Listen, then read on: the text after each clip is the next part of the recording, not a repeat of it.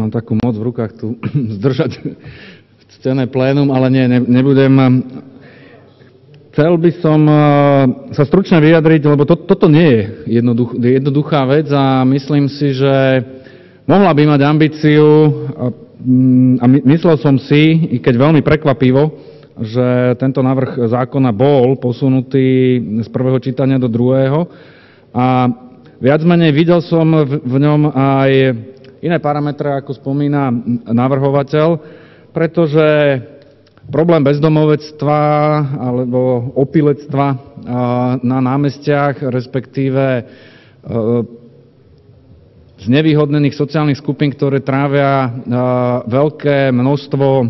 svojho denného času na verejných priestranstvách, vnímame úplne rovnako ako tu na Bratislavčania, aj my v Trnave a kde kade po, po Slovensku. A myslel som si, že e, túto ťažkú tému, pretože ona má v sebe ako keby rozšírenie e, aparátu e, alebo sankčného mechanizmu našich policajtov bude potrebovať minimálne oporu v poslaneckých hlaviciach aj v miere vysvetľovania, že ak nám tento neblahý stav v našich mestách hrozí, tak existuje možno diapazon nejakých riešení a jedno z riešení je tu. Ja som sa voľne a pozeral som si to rakúske riešenie, pretože e, možno aj, aj, aj vám e, niekde vaši kamaráti alebo známi sa im stalo, že nemal v Rakúsku dostatočné finančné prostriedky na zaplatenie e, pokút a prišiel o fotoaparát a podobné a často nám to ľudia píšu, že takýmto spôsobom by to malo byť riešené aj na Slovensku a podobne. To bol ako keby ten prvoplán. V druhom e, slede, keď som to počúval v prvom čítaní, som sa veľmi stotožnil a mňa len tak voľne napadlo, keďže sme v tom predsa len politickom ringu, že túto tému, totižto som prvýkrát ja zachytil v roku 2010 s nejakou ambíciou riešenia, vtedajším kandidujúcim e, budúcim poslancom aj súčasným stávajúcim poslancom Trnavského mestského zastupiteľstva. Čuduj sa svete za e, stranu Smer. A e, keďže on bol dlhodobo krajským šéfom policajného zboru v Trnave, tak mal vo volebnom programe takú peknú vetičku, pekne znela, ľúbivo pre voličov a to bolo, že bude sa snažiť vytláčať opilcov, ako mestská policia a konanie mestského úradu, bude vytláčať poslancov, e, bezdomovcov a e, opilcov z námestia. Lenže on tak tu ho narazil, lebo si ho vzali do úst e, všetky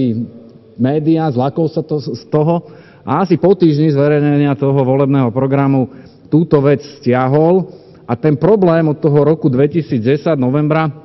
v podstate v Trnave e, pretrváva a rieši sa možnými inými represívnymi účinkami, či už mestskej policie, alebo ako keby sa snažili tým ľuďom ten pobyt znepríjemniť, ale je pravdou, že nemá žiadnu zákonnú ani legislatívnu oporu. Preto keďže som to tu, a to vyplynulo z tej rozpravy, bol som si to overiť, eh, ja aj eh, informoval som od toho navrhovateľa, eh, ja dávam to, čo som dvakrát spomenul v, v, vo faktickej poznámke, návrh na teda riešenie, že by sme podľa paragrafu 83 odsek 1 procedurálne vrátili tento zákon v druhom čítaní na dopracovanie a tým pádom by sa otvoril diapázon možností zmeny a zlepšenia ustanovenia, ktoré nás naozaj trápi. A tu sa chcem ohradiť proti slovám nie všetkých poslancov vládnej strany, ale niektorých z nich, pretože my vieme tu v opozícii, že sú návrhy, ktoré dokážu prejsť, len musia mať dva parametre. Jeden parameter je, že e, návrhy, ktoré prípadne prejdú, musia byť spolupredkladané, alebo teda minimálne odobrené ministrami a e, klubom strany Smer. A predpokladám aj z tých vyjadrení predkladateľa, že dosť brutálny proces v tomto absolvoval a netvárme sa tu, že sme nečakali, že príde pozmenujúci návrh zo strany Smer, ktorý keď schválime, tak vie toto riešenie prejsť ako také. Čiže to je, nikto tu nečakal uh, od pléna alebo od niekoho, že bude nejakým zásadným spôsobom vylepšovať tento návrh. Uh, myslím, že a ja som tiež absolvoval kvôli tomuto návrhu možno 2-3 rozhovory so samotným ministrom vnútra. Bol tam problém, často pán navrhovateľ kritizuje smeráckých poslancov a mal si dať pozor, lebo mohol mu zákon prejsť a teraz je to otázne, ale to sa medzičasom vyriešilo. Takže to sú tie zásadné parametre, ktoré, o ktorých sa tu bavíme, ale nemyslím si, že by mali byť e, pri návrhu tohto zákona podstatné, pretože on chce riešiť uh, vec, aj keď tu môžeme mať riziko, že aby sme to neprehúpli na uh, druhú stranu, a to je vysoká represia. Ja byť z opozície sa chcem dosť výrazne ohradiť uh, proti slovám, ako budú policajti ohmatávať dievčatá a budú brať telefóny doktorom a živnostníkom, pretože môžu Myslím si, že taký policajt by sa dlho neohral, aj pri, neohrial v tom svojom poste, ktorý zastáva. A naozaj nerobme z nich od ľudov, pretože tu máme aj príklady, že keď zneužíval svoje postavenie, tak ja som sa tej téme teda nevenoval, ale viem, že tu bolo viacero poslancov a nakoniec potrestaniu toho, ja si to meno jeho nepamätám, Diffenbach, nakoniec presne tam, kde mal zákon zafungovať, zafungoval a myslím, že bol postavený mimo služby alebo ho nejak riešia. Čiže toto, alebo, čiže ne, nestražme ľudí policajtami, pretože druhá časť ľudí má práve vtedy, keď potrebujú najviac pomôcť, práve vtedy, keď sú šikanovaní, tak už tá posledná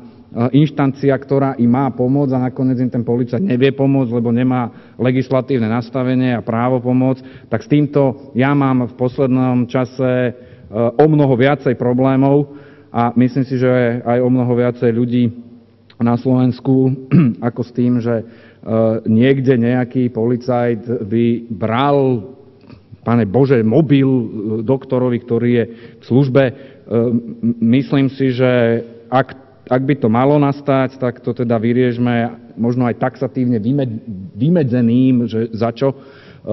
by ten, tieto orgány, ktoré v tom priestupkovom konaní sú, mohli pokračovať. To, toľko som chcel povedať a nechcem to viacej naťahovať, preto môj procedurálny návrh na vrátenie zákona na dopracovanie predkladateľovi a teda pár poznámok k tomu, že Prihováram sa za to, aby sa nám to tu v druhom čítaní ústavne komfortné a s tým, že tu bude politická vôľa vyriešiť vypuklý problém, napriek tomu, že my sa veľmi teda v rámci tej politiky nemusíme. Myslím si, že toto vieme vyriešiť takto, pretože ide o občanov tejto krajiny a nestražme ich policajtami zbytočne. Ďakujem.